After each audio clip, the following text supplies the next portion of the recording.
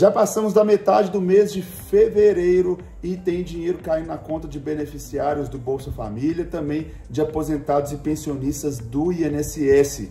Para os aposentados e pensionistas e pessoas que recebem o BPC do INSS, o pagamento do mês de fevereiro começa no dia 23 e eu vou trazer todo o calendário para você nesse vídeo agora. Olá, sejam bem-vindos ao nosso canal INSS Passo a Passo, o maior canal sobre auxílios e benefícios do governo federal do Brasil. Mês de fevereiro está passando rapidinho, né? O contrário do mês de janeiro, que parece que durou uma eternidade. Já estamos finalizando o mês de fevereiro e com isso, sempre nos 10 dias úteis de cada mês, os 10 últimos dias úteis de cada mês, ao depósito do pagamento do Bolsa Família. E eu tenho um vídeo explicando aqui, trazendo todos os detalhes sobre o Bolsa Família mas hoje a gente vai falar sobre os pagamentos do INSS. Antes disso, por isso que é importante você acompanhar o nosso canal, dar o like nesse vídeo, se inscrever no nosso canal, ativar as notificações para você não perder nenhuma informação nova sobre o mundo dos auxílios e benefícios do governo federal. Vamos falar hoje sobre o Instituto Nacional do Seguro Social, que é o famoso INSS, que vai começar a pagar os benefícios do mês de fevereiro no próximo dia 23. Eu estou com o calendário aqui, dia 23 é sexta-feira, uma sexta-feira, dia 23. Os primeiros a receber serão os segurados que recebem até um salário mínimo, como sempre, né? Primeiro os pagamentos para aqueles que recebem até um salário mínimo,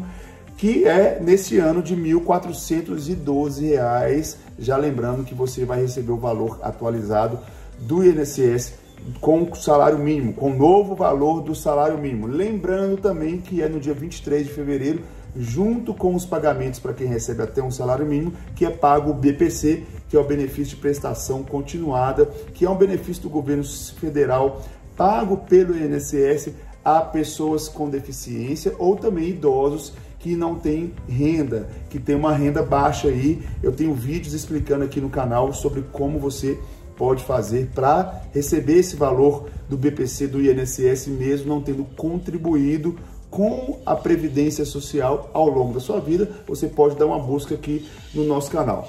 No caso desse primeiro pagamento para quem recebe até um salário mínimo, quase 28 milhões de cidadãos que recebem esse piso nacional já vão começar a receber os pagamentos benefício final 1 no dia 23 de fevereiro e seguindo aquele cronograma que inclusive eu vou falar para você daqui a pouquinho.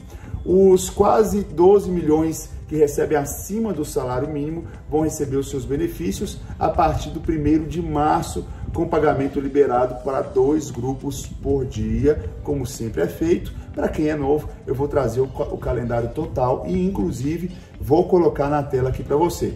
No total, gente, o INSS paga nesse mês de fevereiro aposentadorias, pensões e auxílios a mais de 39 milhões de pessoas.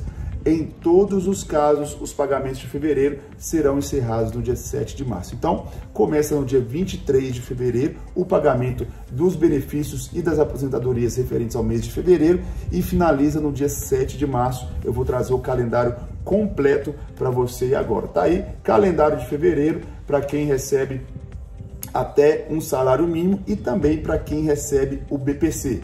Final 1, dia 23 de fevereiro, final 2, 26 de fevereiro, final 3, 27 de fevereiro, final 4, 28 de fevereiro, final 5, 29 de fevereiro, final 6, dia 1 de março, final 7, dia 4 de março, final 8, dia 5 de março, final 9, dia 6 de março. E finalizando os calendários, o pagamento de para quem recebe o BPC e até um salário mínimo, no dia 7 de março, recebe aqueles beneficiários que têm o seu cartão com o número final zero.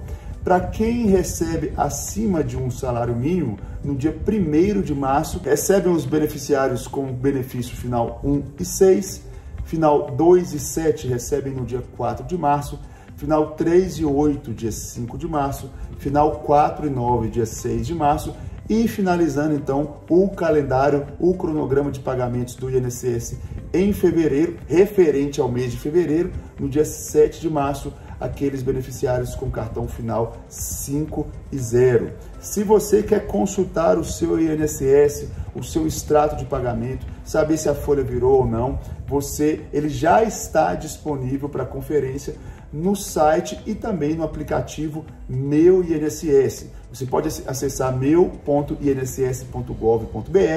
fazer o login com a sua conta Gov e ali você vai ter acesso a todas as informações sobre a sua aposentadoria, o dia de pagamento, o valor que você vai receber e etc. Se você tiver o aplicativo instalado, se você quiser instalar, ele está disponível para todas as plataformas, inclusive Android e iOS. E no caso é só você fazer o download desse aplicativo, fazer o login ali com a sua conta do gov.br e pronto, já está aí acessando e você pode ter todas as informações. Quem não tem acesso à internet pode ligar para a central telefônica, o 135, informando o número do CPF e confirmando algumas informações cadastrais. E lá você pode também ter acesso ao seu saldo, o dia que você vai receber, o valor que você vai receber e várias e várias outras informações com relação à sua aposentadoria.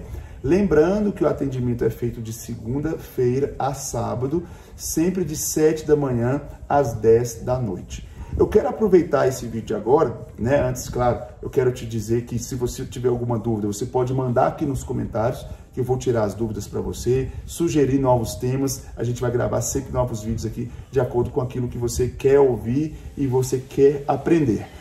Existe uma informação muito importante, inclusive eu tenho um vídeo aqui no canal falando sobre isso, que é sobre a prova de vida. Muitas pessoas têm perguntado, está passando no jornal, tem gente desesperada porque não fez a prova de vida e o negócio é, eu tenho um vídeo explicando aqui detalhadamente, mas eu vou aproveitar esse tempinho final aqui para falar com você.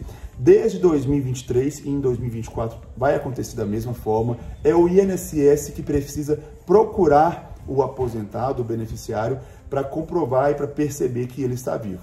O INSS divulgou que vai fazer isso através de cruzamento de dados. Como assim? Se você renovou algum documento seu, se você tomou uma vacina, se você votou nas eleições, se você fez alguma consulta no SUS, entre outras atividades, o INSS vai automaticamente detectar que você está vivo e a sua prova de vida já vai estar ok. Se por acaso o INSS não conseguir fazer a sua prova de vida mediante esses cruzamentos de informações, ele vai entrar em contato com você, ou pelo 135 ou pelo aplicativo do banco, né, no banco que você recebe a sua aposentadoria, ou através de SMS, informando que você precisa fazer a sua prova de vida. Aí você pode fazer a prova de vida no aplicativo ou do método antigo, indo na agência bancária. Mas tem muita gente desesperando e já ir procurando, já ir tentando fazer, lotando os bancos, sem ter necessidade. Apenas as pessoas que receberam a notificação, e uma vez recebendo a notificação, você tem até 60 dias para fazer essa prova de vida, tá? Esse foi um plus aqui nesse vídeo, não é o assunto principal, a gente quis falar do calendário, mas é porque tem muita gente perguntando sobre essa questão da prova de vida e eu trouxe aqui a informação para você. Espero que vocês tenham gostado do nosso vídeo. Se ficou alguma dúvida, manda aqui nos comentários. Até o nosso próximo encontro. Tchau, tchau. Valeu!